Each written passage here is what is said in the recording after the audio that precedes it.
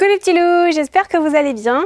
Alors aujourd'hui j'ai envie de vous faire une petite vidéo, c'était pas prévu, mais je viens d'aller dans mon jardin, j'ai ramassé pas mal de, légumes euh, et de fruits. Et du coup euh, je me suis dit pourquoi pas vous faire une petite euh, vidéo pour vous montrer comment je récupère mes graines de tomates. Pour les fruits en tout cas, ça va être de cette manière-là. Voilà le poivron, les, courgettes, les, les, concombres, je fais de la même manière. Donc euh, je vais vous montrer et puis euh, comme ça si vous savez pas faire, vous saurez faire. et sachez que c'est peut-être pas la manière euh, qu'il faut faire ou la manière conventionnelle, mais moi c'est ma petite maman qui m'a appris à faire comme ça. Ça a toujours bien marché, elle a toujours eu de superbes fruits, de superbes plants. Euh, donc euh, voilà, ces graines fonctionnent bien en faisant de cette manière-là. Donc c'est pour ça que je fais de la même manière. Voilà, quand ça marche, pourquoi pas. et puis il faut savoir que je les ai récupérées de cette manière-là l'année dernière. Et effectivement, j'ai pris mes graines et ça a marché très très bien cette année. Donc euh, voilà, il n'y a, pas de, a pas de secret, parfois c'est simple euh, mais efficace. Donc ben, c'est parti, je vais vous montrer vite fait comment je fais pour récupérer mes graines de tomates. Donc pour vous montrer, voilà ce que j'ai ramassé euh, vite fait. Donc j'en ai un petit peu enlevé là, qui était là, j'en ai mis dans un petit panier justement pour pouvoir vous montrer et prendre quelques tomates. mais donc j'ai ramassé des aubergines, des concombres, dessous il y a plein de courgettes. Donc un fenouil, là il y a du persil, du basilic et dessous il y a même, euh, ça c'est du céleri, bon on voit pas bien mais voilà du céleri, ça se mélange un peu au, persil. Euh, et puis euh, des, poivrons, il y en a un là et il y en a aussi, il y en a aussi un là. Donc voilà, ah oui, et de la salade. Donc voilà la récolte du jour, c'est ce qu'il y avait en plus. Mais bon, là c'est pas grand chose du coup, mais faut savoir quand même que les tomates, regardez par rapport à ma main, elle fait toute ma main, elle est énorme. Et celles-ci sont pas mal, euh, sont pas mal quand même. Hein. voilà, on a des belles tomates. C'est cool, on va pas se plaindre. Alors donc, qu'est-ce qu'il vous faudra? Donc tout simplement donc les tomates. Donc moi j'en prends toujours deux au cas où qu'il y ait une tomate où les graines soient pas très bonnes.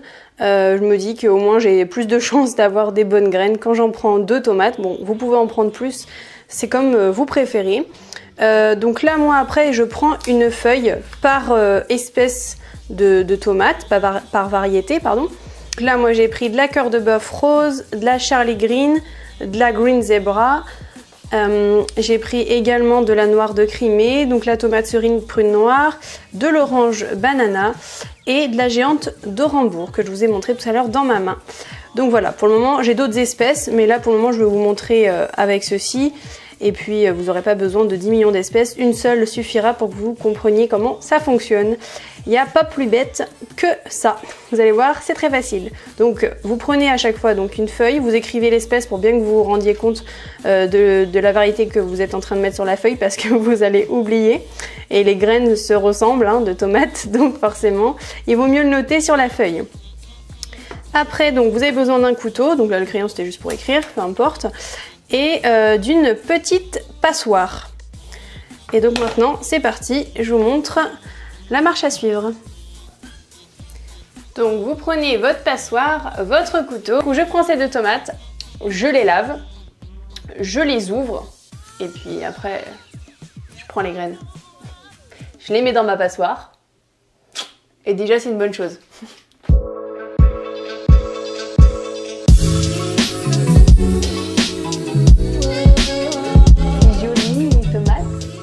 Ferme de cœur. Bah oui, c'est de la cœur de bœuf rose. Pour que ce soit juste plus facile, je prends une petite cuillère pour euh, bien euh, racler et enlever euh, le maximum de graisse. Donc c'est parti, donc là, la tomate, je vais tout mettre dans ma petite passoire. Hop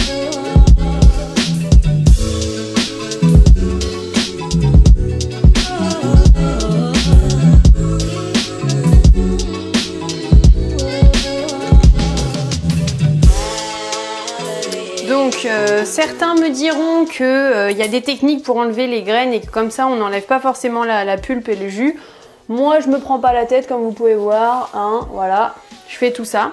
Donc maintenant que vous avez toute la pulpe et les graines dans votre passoire, le tout c'est euh, donc vous allez allumer l'eau de votre, de votre évier et vous allez donc passer en fait juste l'eau pour retenir dans la passoire seulement les graines. Voilà, tout simplement.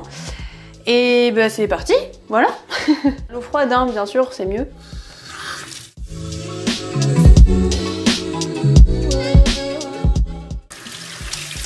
Voilà. Alors, du coup, j'ai euh, toujours un peu de pulpe, mais il n'y a pas de problème, c'est pas grave s'il en reste un petit peu.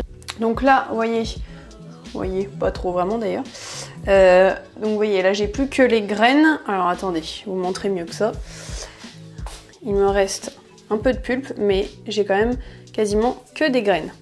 Voilà, donc là, quand vous êtes arrivé à ce résultat, c'est suffisant pour pouvoir les récupérer. Alors, maintenant que vous avez votre passoire avec vos graines, eh bien, c'est compliqué. Donc, vous allez prendre la feuille sur laquelle vous avez marqué le nom de l'espèce. Donc là, ici, on aura cœur de bœuf rose. Et là, vous retournez la passoire. C'est compliqué. Waouh Voilà. Donc là, il vous reste un petit peu de graines. Donc vous enlevez les graines restantes. Une fois que vos graines sont, dessus euh, votre feuille avec la pulpe, hein, c'est pas grave, vous allez pouvoir un petit peu les espacer. Voilà, qu'elles soient pas non plus en énorme, en énorme tas. Vous avez la place sur votre feuille à 4. Euh, si vous prenez une petite feuille d'ailleurs, c'est pas grave. Hein. Là, c'est juste parce que moi j'ai pris des feuilles qui étaient soit abîmées, soit des feuilles de brouillon. Enfin voilà. Euh, vous embêtez pas à prendre des feuilles euh, forcément blanches comme j'ai fait, hein, peu importe, ça peut même être du papier journal, d'ailleurs ce serait très bien du papier journal, mais j'en avais pas. Là, ma feuille, elle ressemble à ça, avec toutes les graines, le nom en dessous, et là vous avez votre petite feuille de graines. Donc je vais faire ça avec toutes les espèces. Enfin bref, voilà, assez parlé. Je vais faire euh, toutes mes petites tomates. Euh, je vous montre ce que ça donne euh, juste après. Et puis, et puis après, on se retrouvera le moment donné où elles seront sèches. Et puis je vous montrerai ce que je ferai pour, pour terminer. Mais voyez, c'est tout bête. Alors autant le faire, ça vous fera gagner du temps et de l'argent. Donc voilà ce que ça donne. Donc vous voyez, il y a encore de la pulpe, mais c'est pas grave du tout. Là, on va les laisser sécher à peu près une semaine. Alors, on se retrouve une petite semaine euh, après. Donc, euh, les graines ont séché presque toutes, sachant que j'en ai rajouté quelques-unes et euh, elles sont pas complètement sèches. Mais après, c'est vrai que vous pouvez attendre moins d'une semaine. C'est comme vous voulez. Moi, comme ça, je suis sûre qu'elles sont sèches. Je les oublie une semaine. Elles sèchent tranquillement. Et puis après, je, peux m'occuper pour les récupérer. Donc ce que j'ai fait, j'ai pris des enveloppes. Alors vous pouvez prendre autre chose que, que des enveloppes. Hein des petits pochons, des, ce que vous voulez pour pouvoir récupérer derrière. Moi j'ai pris des enveloppes et j'ai écrit du coup dessus euh, ce que c'était. Donc là c'est des graines de courgettes Grisny. Donc voilà. Euh, je vais vous montrer vite fait ce que ça donne. Et là, ça va être le passage à la récolte de nos petites graines sur nos feuilles. voilà. Et après, ce sera terminé. Vous pourrez les utiliser pour l'année d'après ou l'année encore suivante. Voilà, ça c'est pas éternel, mais ça se garde plutôt bien et donc euh, voilà, plus les années passent, moins bien elles vont, germer et pouvoir après euh, donner un beau plan. Mais euh, c'est vrai que même sur 2-3 ans, ça donne quand même. Donc bref, assez parlé, je vous montre. donc on va prendre le couteau, donc avec la petite pointe donc vous allez les récupérer comme ceci. Voilà, en faisant attention à pas les, les abîmer. Donc là, bon, j'ai l'appareil photo dans la main, donc c'est pas facile parce qu'en plus je, je vois pas très bien ce que je fais. Mais en gros, voilà, vous allez faire avec la petite pointe et les récupérer. Et à ce moment-là, vous allez pouvoir les mettre dans votre enveloppe. Voilà, tout simplement. Et vous allez faire ça à chaque fois. Donc je vais pouvoir prendre ma petite enveloppe, mettre les petites graines. Et sinon, vous pouvez le faire aussi à l'ongle. Mais j'avoue que je l'ai fait, euh, j'ai déjà fait cette erreur et ça vous abîme euh, les sous-ongles à, la fin de gratter. Puis je pense que vous abîmez plus les graines que de le faire euh, à la pointe de couteau. Pardon. Donc voilà. Donc c'est ce qu'on va faire aujourd'hui. Et donc bah, c'est simple hein, de récupérer ces graines finalement. Moi j'aime beaucoup faire ça parce que c'est un moment, je trouve, assez agréable où soit on peut penser à rien, on peut juste être euh, en relation avec soi-même ou, ou tout simplement juste euh, faire ce qu'on fait. Voilà, faire les graines, point, et se vider la tête, ça peut faire vraiment beaucoup de bien. Donc j'aime bien faire euh, cette sorte de petite activité, entre guillemets. Ou bien on peut mettre la musique et, et s'évader autre part. Je trouve ça sympa parce que C'est une activité qui peut être faite au calme et euh, voilà, faite un petit peu euh, en dehors du temps. Ça paraît bête, mais moi je me sens bien quand je fais ça. Et beaucoup de gens se sentent bien aussi quand on est dans son potager. Euh, moi, j'avoue que le, potager, je, le fais, mais un peu moins. Moi, c'est plus mon conjoint qui le fait. Et moi, tout ce qui va être semis, graines, conservation, tout ça, ça c'est plus moi qui le fais. Et c'est vrai que ça, la récupération des graines, j'aime bien. Je trouve c'est ça fait partie de la vie.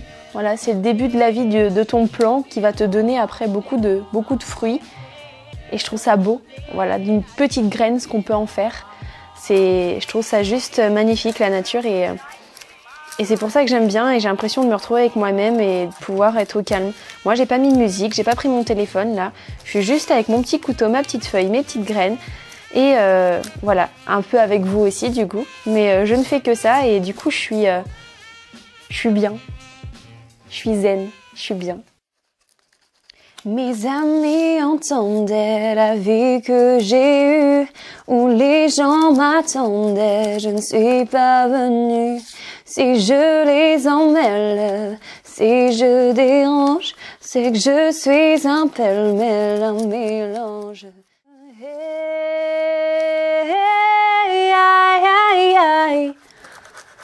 Aïe, aïe, aïe, si je vous gêne, bah c'est la même. Si je vous gêne, bah c'est la même.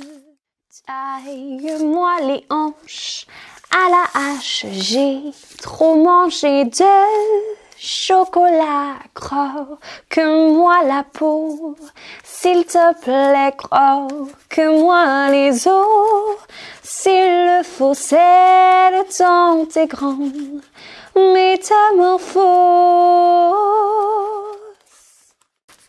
Et d'ailleurs, s'il y en a qui habitent dans ma région, euh, donc moi j'habite euh, en Vienne, dans le 86. Si jamais vous, vous êtes de là, et vous avez envie de faire des échanges de graines, euh, que vous avez des variétés que je n'ai pas et que vous avez envie de goûter certaines de mes variétés, euh, on peut s'échanger quelques graines, c'est toujours sympa de, pouvoir euh, échanger ce genre de choses et puis en même temps de pouvoir se rencontrer. ce serait cool. Donc là pour aujourd'hui c'est fini, donc les sets que je vous avais montrés du départ sont récupérés. Et donc, euh, donc là, elles sont, là, il n'y a plus rien dessus. Hein. On voit encore quelques pulpes, mais ça s'enlève très bien. Et là, les trois que j'ai fait un peu plus tard, donc euh, il s'avère que c'est la courgette, le concombre et une autre euh, de tomate, eh bien, ne sont pas suffisamment sèches. Donc, quand même, je vous conseille une petite semaine. Hein. Moi, je trouve que c'est pas mal, voire plus. pour que ça sèche bien, que ça s'enlève facilement. Parce que là, si j'essaye de l'enlever, en fait, c'est pas encore complètement sec. Et ce qui fait que ben, le, la graine va peut-être moins bien se conserver, peut-être pourrir, donc c'est dommage. Euh, mais aussi, vous allez arracher un peu plus de, euh, feuilles. Voilà, vous n'allez pas avoir simplement la graine. Donc euh, n'hésitez pas à attendre, hein. patience. J'ai plus qu'à ranger ces petites enveloppes dans mon petit tiroir à graines. Donc j'espère que cette petite vidéo a pu vous aider pour récolter vos propres graines du potager. Et puis bah, j'espère qu'on va se retrouver euh, très très vite dans une autre vidéo. Si euh, mon contenu vous plaît et si euh, ma personne et si moi je vous plais aussi. Voilà. N'hésitez pas à mettre un petit pouce bleu en bas de la vidéo si vous avez aimé cette vidéo et si vous avez pu apprendre et faire par vous-même vos graines. N'hésitez pas à mettre vos commentaires pour savoir vos façons de, de, vous récolter les graines si vous faites autrement que moi. Et dites-moi si c'est parfois plus rapide que ce que je fais.